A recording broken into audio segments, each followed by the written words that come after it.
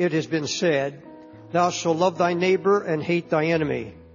But I say unto you, love your enemies, bless them that curse you, do good to them that hate you, pray for them which despitefully use you and persecute you, that you may be the children of your Father which is in heaven.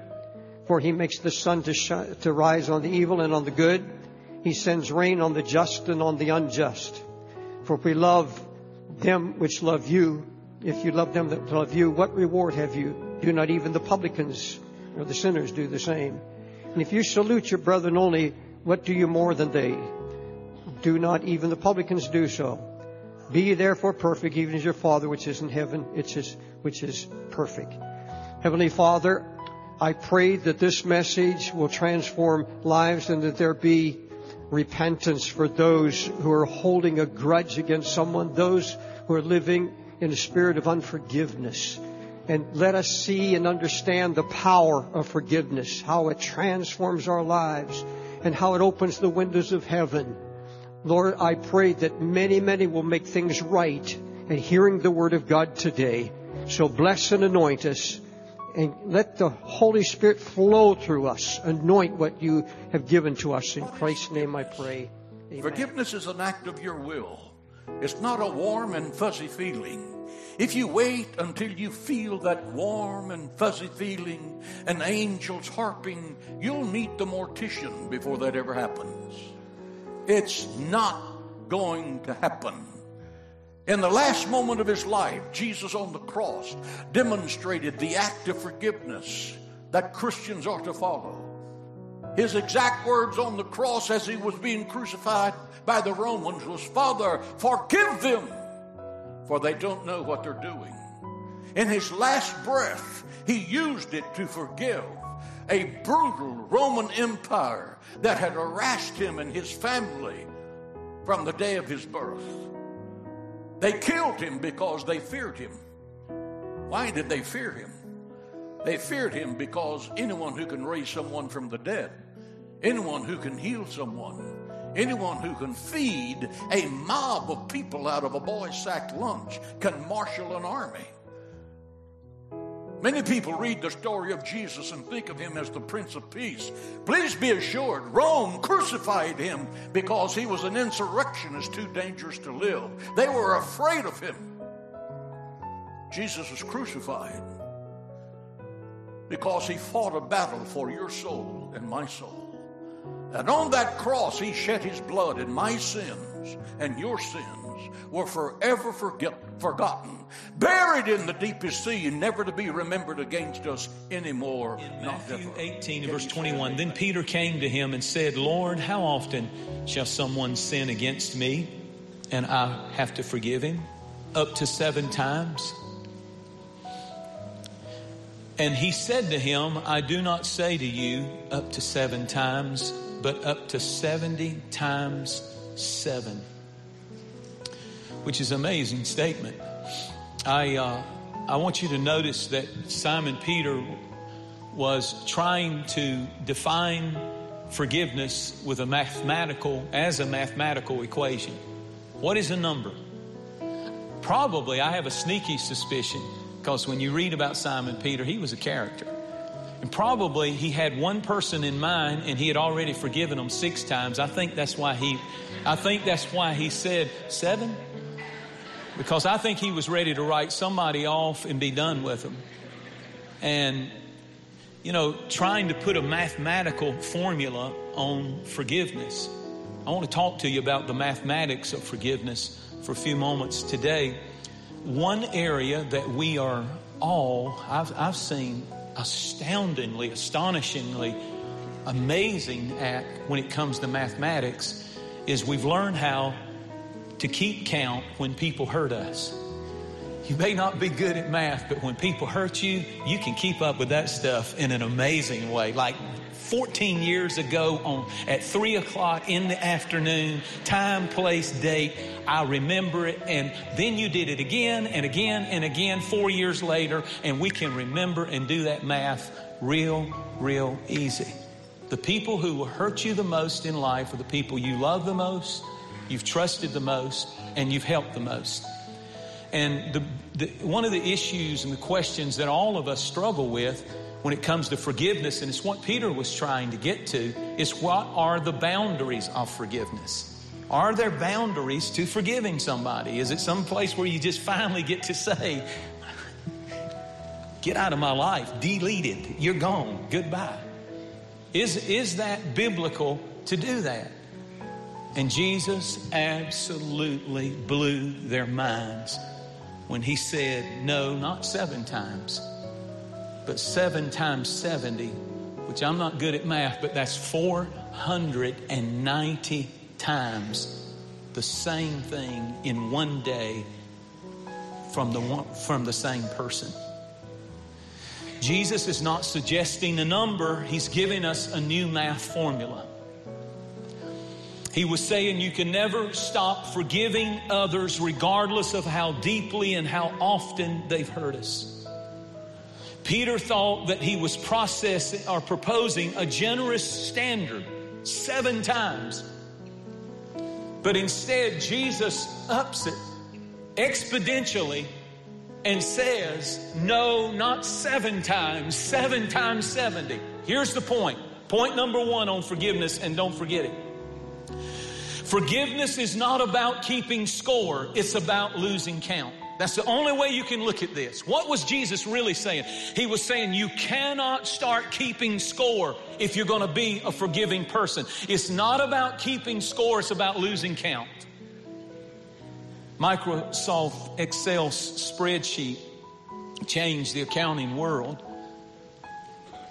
And uh, they do it in columns. You, you have a topic or a client or a person, and then you have the date on one side, and you have the name, and then you have the, you have the, the column, and you have the amount that they owe you. And I think sometimes what we do is we have an Excel spreadsheet on people in our minds that's ongoing. So much so that I brought one in with me today. And these are just examples. So back in 2003, mom and dad didn't go to my ball game, so they got themselves a column. Then we got a column for our friends. You know, it goes way back maybe to high school days or something stole your girlfriend, you ought to thank them that they stole your girlfriend. Have you seen her? Look on Facebook. She looks crazy. You are blessed to get the girl you're with. But, but you know, um, they didn't invite me to the Super Bowl. You, uh, come on now.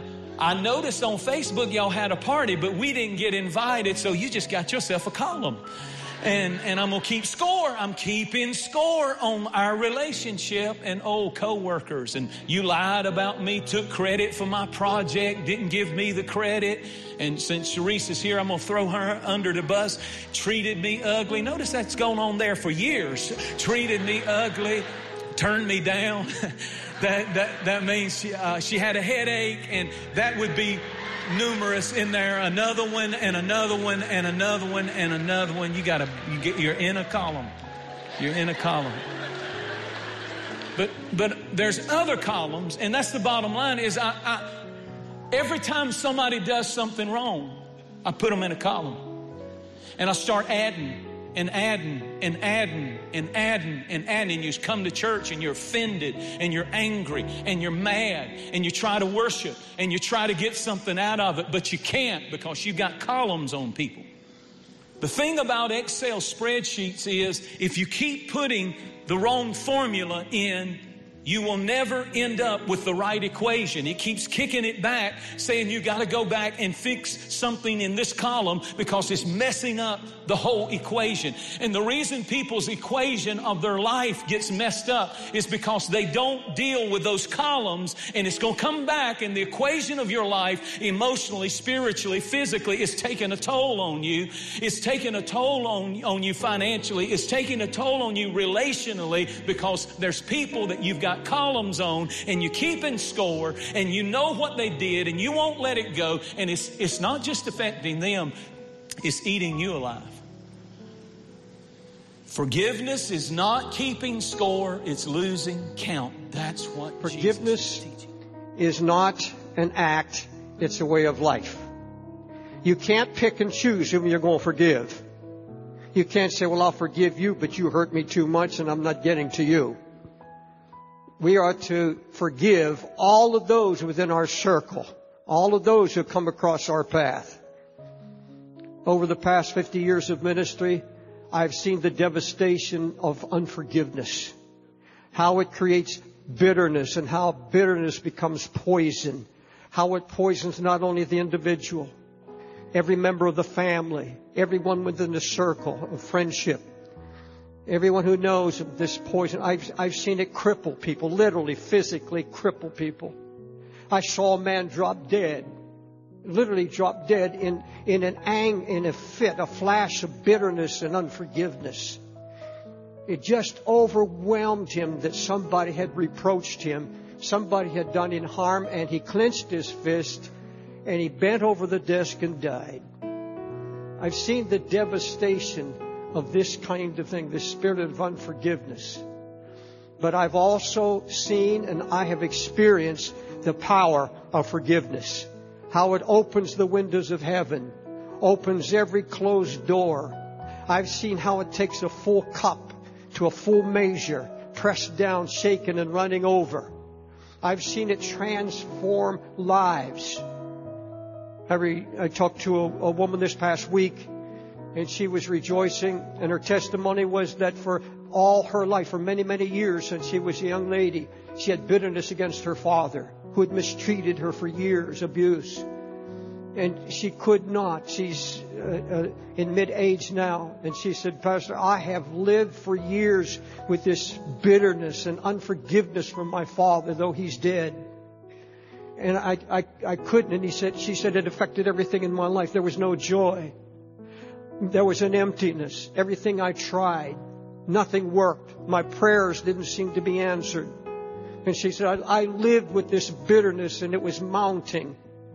But she said, recently I've been in the Word and I've been convicted by the Word and what Jesus said and the commandments of the Lord about forgiveness. And she said, I gave that bitterness and that unforgiving spirit over to the Lord. And she said, I can't tell you the joy that's been released in my life. I have a joy. I can't get to my father. He's gone. But I thank God because I have seen the power of the joy of forgiveness. I don't think you can ever walk through. I can decide I'm going to forgive somebody, but I can't walk it out in my life if there's not some things that I realize. First of all, God's not asking me to feel differently about them. He's asking me to pray, mm-hmm.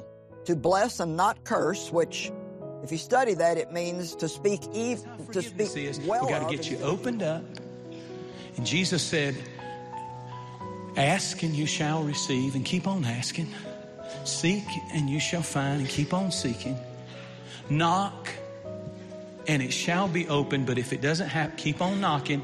Know the right spot. That's prayer. God, I'm trying to forgive this person and not kill them. And Father, in the name of Jesus, I'm knocking. And it may take a minute. It may take a minute. It may take a minute. You got to wait. It's slow. It's not squirting out real fast. It's slow. Come on but you keep praying about it. Well, well how, how, many times do I have to pray for them? Keep on knocking, keep on knocking, keep on knocking, keep on until the contents on the inside of forgiveness begins to be released. Little by little by little by little, God begins to heal and restore our relationship.